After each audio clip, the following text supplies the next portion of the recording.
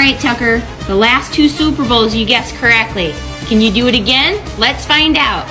Who's going to win this Super Bowl? The Rams or the Bengals? Ding! The Bengals? Are you sure?